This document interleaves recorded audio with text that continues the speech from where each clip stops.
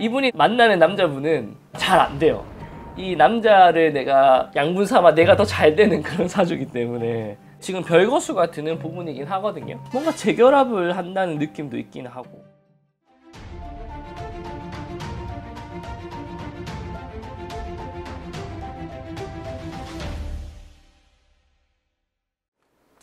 안녕하세요.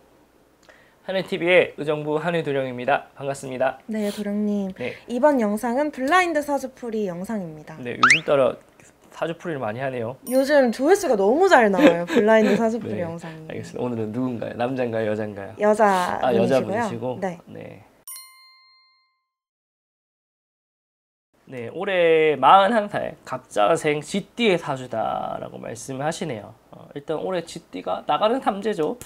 그래서 조금 풍파가 있어 보이는데 일단 한번 공수 한번 받아보도록 하겠습니다.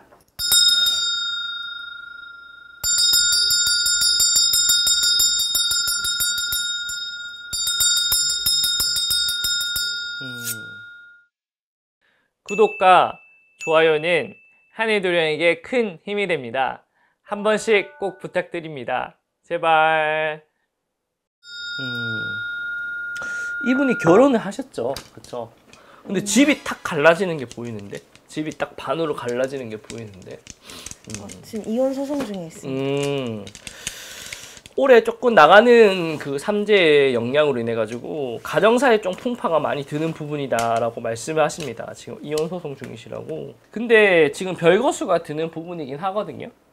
근데 뭔가 재결합을 한다는 느낌도 있긴 하고. 어, 근데 부부 사이가 좀 어려움이 있겠다. 근데 이 사주 자체가 조금 이제 남자를 좀 누르는 사주입니다.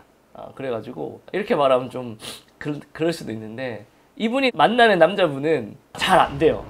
그래서 이 남자를 내가 양분 삼아 내가 더 잘 되는 그런 사주기 때문에 어, 좀 남자를 먹여 살려야 되는 그런 팔자 그렇게 볼 수도 있고 음, 남자분들 입장에서는 이분을 만나는 게 어려움이 많다 그렇게 생각을 하셔야 됩니다. 그 이 사주가 한 겨울에 한방눈이 떠올려지는 그런 사주입니다. 특히나 이제 초년에 좋은 운대가 들었고 지금 41살이신데 30대에는 좀 공백기가 있었던 것으로 보여요. 근데 40대부터는 다시 전성기가 시작이 된다. 어, 그렇게 말씀을 하십니다. 특히나 요, 가- 요 운기 같은 경우에는, 음, 남 밑에 있을 사람이 아니긴 해요. 그래서 뭔가 단체 활동보다는 개인적인 활동을 했을 때 더 뛰어난 역량을 가진다라고 말씀을 하시고요.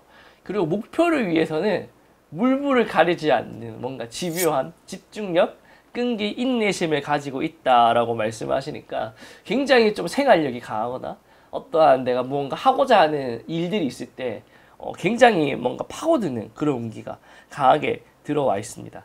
특히나 어, 내년부터 어, 당장의 내년부터도 굉장히 이 사람이 좋은 운기가 많이 들어요. 사실상 올해 갑자생 쥐띠인데 쥐띠가 이제 나가는 삼재 액땜을 하는 형국이고요. 가정사에 있어가지고 액땜을 하는 형국이고 요 액땜하고 나서 내년부터는 다시 이제 음, 날개를 펼치는 그런 상황이다라고 말씀을 하시니까 여러 분야에서 다시 뭐 활동적인 부분이 있겠다라고 말씀을 하십니다.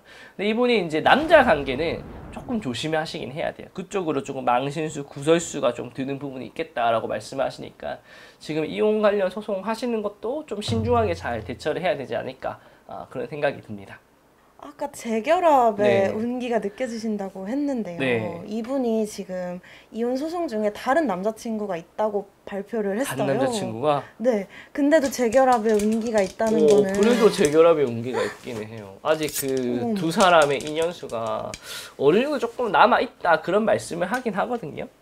그래서 당장에 그 이혼 소송이라고 하는 것도 뭔가 이렇게 깔끔하게 정리가 되는 느낌이 아니에요. 뭔가 이렇게 좀 뭔가 법적인 부분 그런 것도 좀 다투면서 뭔가 뭐 예를 들어 양육권이라든지 양육비라든지 뭐 친권이라든지 뭐 그런 부분을 해가지고 뭔가 이렇게 법정 공방이 계속 가면서 조금 계속 연을 이어 나가는 게 계속 보이긴 하거든요. 재결합의 운기도 충분히 있고 지금 사실상 이제 뭔가 별거수의 그런 운기지 이게 뭔가 딱 헤어지는 그런 운기가 아니기 때문에 어, 어느 정도 그런 여지도 충분히 남아 있다 그런 말씀을 하시긴 합니다.